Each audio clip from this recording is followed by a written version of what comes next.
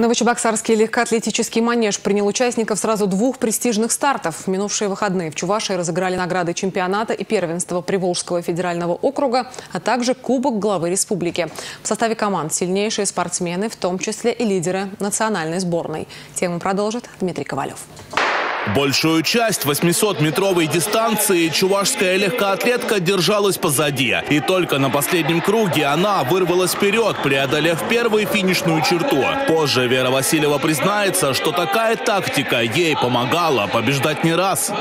Была тактика первые 400 метров присидеть, а потом уже накатить финише получилось у меня последние 200 метров выйти и победить. Воспитанница чувашской школы Анна Ильина осталась в шаге от победы. В забеге на 3 километра своих соперников обошла Елена Коробкина. Результат спортсменки 8 минут 55 секунд. Старалась просто бежать своим темпом. Задачу, которую поставил тренер, пыталась выполнить. Вот и все. Хотелось пробежать э, где-нибудь из 9 минут, вот троечку продышаться, попробовать. Это первая тройка у меня в сезоне, поэтому опыт. Всего хозяева зала завоевали 10 медалей. В активе сборной республики два серебра в забегах на 60 и 3 тысячи метров. Бронзовую награду команде принес легкоатлет Сергей Петров. Главная интрига турнира развернулась в секторе для прыжков в высоту. В числе претендентов на победу Ангелина Краснова и Анжелика Сидорова.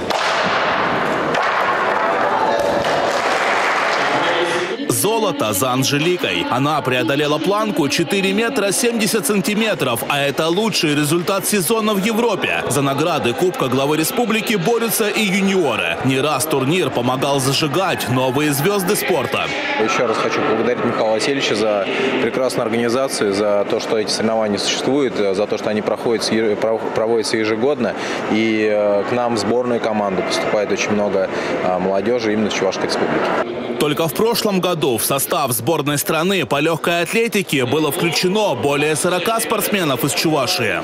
Мы легкой атлетикой в республике, государственной политике всегда занимались и будем заниматься. У нас почти 5 тысяч спортсменов занимаются. Я абсолютно уверен в том, что кто-то из них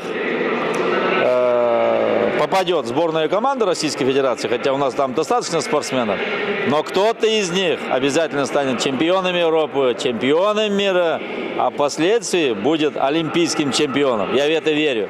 На рабочей встрече с Михаилом Игнатьевым Юрий Барзаковский отметил, что спортивные турниры республика проводит на высоте. Для других регионов это пример. Участниками нынешних стартов стали более 800 легкоатлетов из 20 регионов. За два дня среди них разыграли 40 комплектов наград. Дмитрий Ковалев, Александр Петров и Андрей Шоклев. Республика.